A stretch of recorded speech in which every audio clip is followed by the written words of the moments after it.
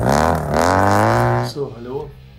Ich bin der Manuel von SUD Sports aus Uchtelhausen. Wir haben uns mit dem BMW Zweiventil Boxer beschäftigt und supporten den ab Baujahr 1975 bis 1996. Leidenschaft, die ich zum Beruf gemacht habe. Der Boxer macht mir ganz viel Spaß und deshalb beschäftige ich mich ganz arg damit. In diesem Kapitel haben wir uns jetzt mal die Kurbelwelle rausgesucht.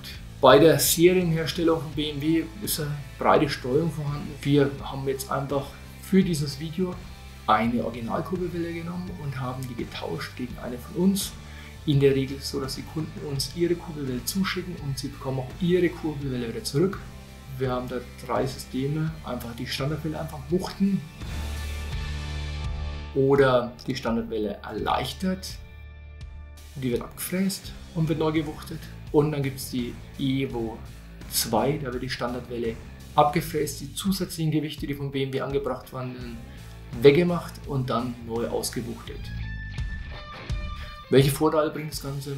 Das Motorrad ist agiler und besser am Gas, beim Überholvorgang, beim Beschleunigen, das merkt man einfach. Und bei mir habe ich halt im Spritverbrauch auch gemerkt, dass ich da erhebliche Ersparnisse habe. Und bei dem Motor haben wir natürlich dann auch ausgemessen, dass das Axialspiel auch passt und haben den eingelagert, neue Steuerkette drauf, neue Kettenräder, dass es dann wieder fährt. Dieses Geschäft betreibe ich seit mehr als 15 Jahren. Das sehe ich als absolute Passion. Mir macht der Boxer, gerade der Zweiventiler, ganz, ganz viel Spaß und ich hänge da ganz viel Leidenschaft und Herzblut mit rein.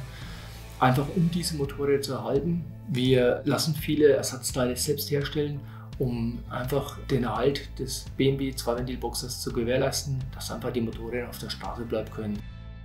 Was gibt es Schöneres als ein Boxer?